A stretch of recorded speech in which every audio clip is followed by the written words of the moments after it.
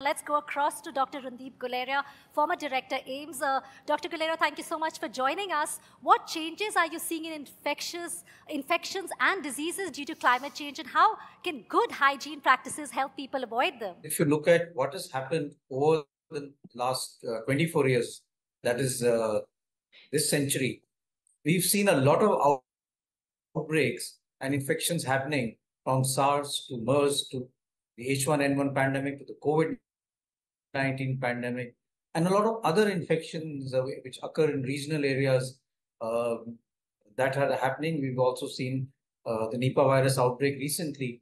All of this is related to climate change and the fact that there is a change in the environment, the fact that there is now crowding of uh, space as far as the, world, the globe is concerned. We're becoming a global village. Travel has become much uh, fast, much more.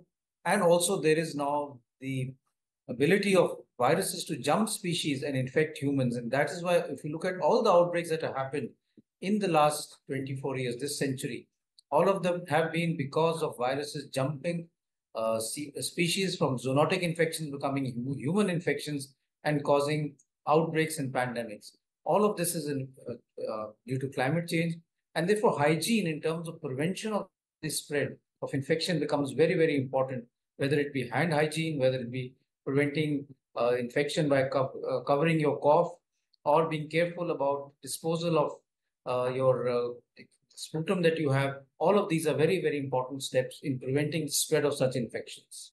Dr. Guleria, we have all just seen how the students here are so involved and have so many questions. If you can share with them what measures they can take to improve hygiene practices.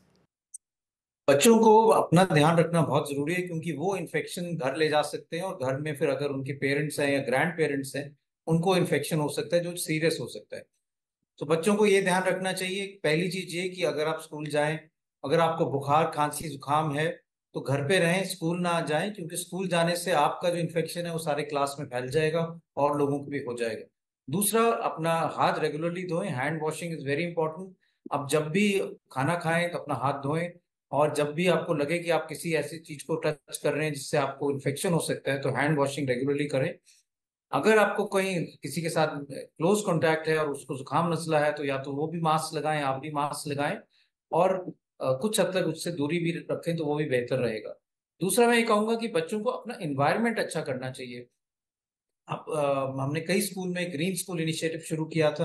आप अपने school में देखो कि greenery ज़्यादा हो carbon footprint कम हो अगर school अगर आप आ रहे हैं तो बस में आए प्राइवेट कार में ना आए, अगर पैदल चल सकते हैं तो पैदल चलें, जिससे क्लाइमेट चेंज और पोल्यूशन हम दोनों कम कर पाए।